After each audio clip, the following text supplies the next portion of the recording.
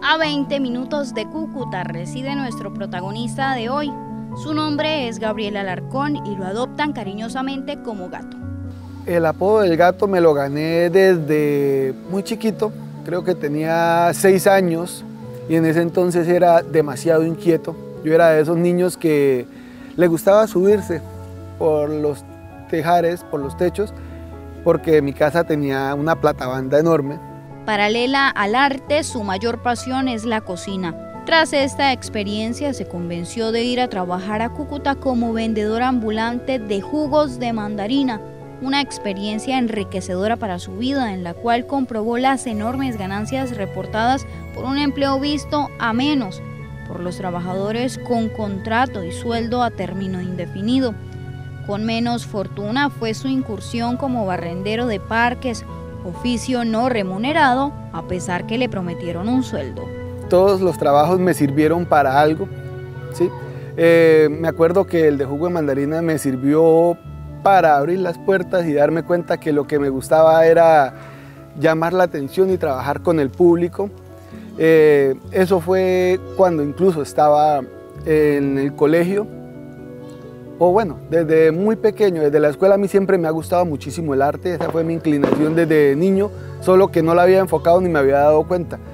Yo era la ovejita negra, yo era el que le gustaban las cosas de teatro, la danza, la cumbia, pero nunca lo metían porque era el niño rebelde y pues entonces yo era el que me paraba en la puerta, miraba los bailes, miraba las coreografías o miraba los montajes y cuando se les olvidaba a las personas que estaban enseñando, eh, se miraban a ellos y yo, yo sé, yo sé. Me escuchaban, pero cuando me iban a poner a trabajar simplemente decían, no, no, no, agarremos a este niño acá, usted quédese allá quietecito. Y yo, ah, bueno.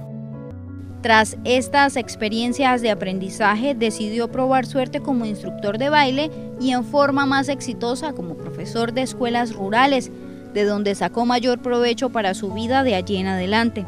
Esto ocurrió en el 2002, tras cursar una preparación artística en la Casa de la Cultura del Zulia.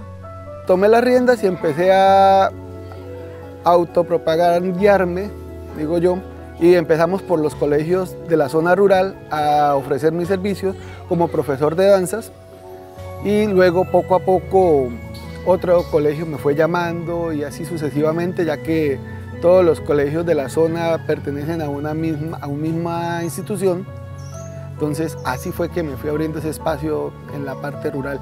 En el 2009 entró a trabajar como formador artístico en la Casa de la Cultura. Ejerciendo este cargo, el Colegio Marco Fidel Suárez requirió sus servicios como instructor teatral. Para ello mezcló la mímica con la fanfarria y el teatro callejero en fin de lograr un estilo más atractivo para la juventud. Su atrevida propuesta fue reconocida inmediatamente por las hermanas carmelitas como una innovación atractiva y cómica en comparación con anteriores actos culturales acartonados. Desde entonces descubrió en el teatro la motivación necesaria para su vida. Conocí muchísimas experiencias de vida, chicas que habían sido abusadas sexualmente, chicos con problemas de identidad, chicos que venían bajo una situación emocional tan fuerte que autoagredían y hacían cutting, se cortaban las manos y muchas situaciones fuertes en estos niños, otros que estaban sumergidos en las drogas.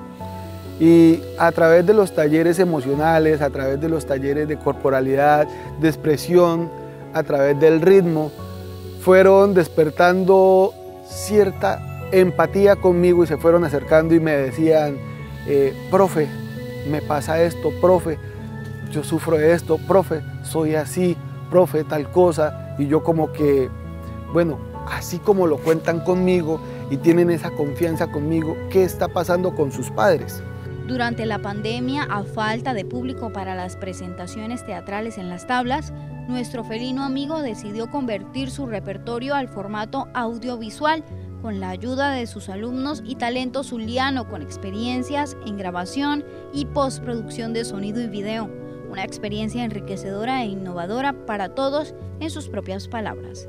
Cada presentación o cada vez que se ofertaba esta puesta en escena que se llamaba El 1 y el 2, que se encuentra en YouTube, la pueden conseguir, en el canal de Teatro Chesir.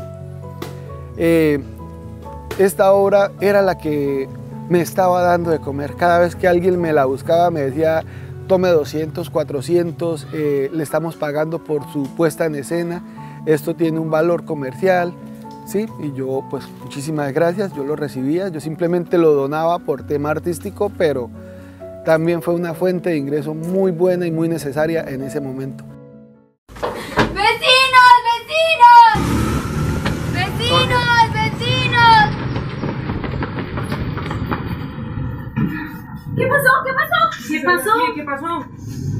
Ay, no pueden ver, mi marido ha muerto.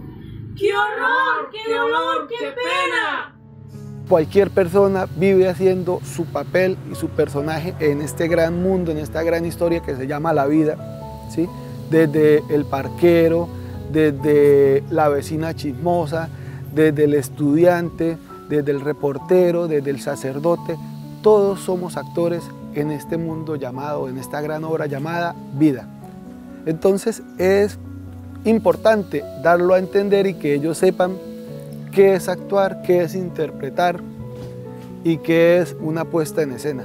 Por eso siempre el arte va a existir, por eso siempre voy a estar presente con hasta mi último aliento trabajando en pro de eso, en exaltar de que somos artistas por naturaleza, solamente que nunca hemos despertado la chispa. Él es Gabriel Alarcón y hace parte de todo lo nuestro.